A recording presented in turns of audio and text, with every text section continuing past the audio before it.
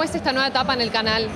Estoy muy contento de estar en el canal. Eh, desde el primer día me recibieron con, muy buena onda todos, de, esos pasillos de Firrodio, lo de Gorriti, es como los hubiera caminado toda mi vida.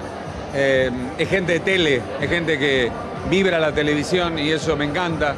Me encanta la programación que tenemos, me encanta la posibilidad que me ha dado la gente de América de, ser el director de contenido, de poder llevar programas a la pantalla, de, de poder trabajar en eso, de, de hacer nuestro programa también, de volver a hacer un formato de esta característica que para mí es impresionante hoy en la televisión argentina o en los medios poder hacer un formato de este, de este nivel donde participa tanta gente, dándole laburo a tanta gente, en un país que está atravesando un montón de dificultades, que, que nosotros podamos hacer esta apuesta, me parece maravillosa, así que estoy muy feliz. ¿Cuál es la sorpresa que vamos a tener en este Bailando 2023? Puede, puede haber muchas sorpresas, de mucha gente nueva y mucha gente muy talentosa y, y de los viejos y campeones que la rompen también, así que me parece que va a estar bueno en eso.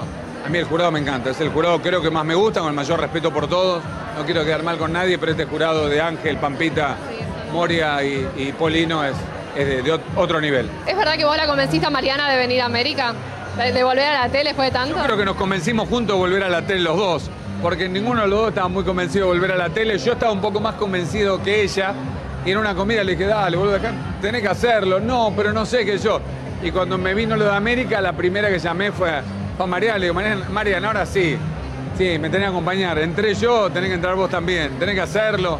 Vos sos una persona muy querida. Valoro profundamente el talento y el carisma que tiene Mariana, así que no lo estoy diciendo porque está acá hablando para su programa, pero ella sabe que siempre, siempre ha tenido esa, esa cuota de, no sé, de alegría, esa sonrisa que a mí me hace reír y además siempre esa humildad que la caracteriza cuando me preguntaba los viejos programas que hacía ella, cuando eh, me preguntaba cómo me ves y cómo ves el programa y hablábamos y debatíamos del programa, a mí me encantó siempre y la, sabe que la quiero mucho.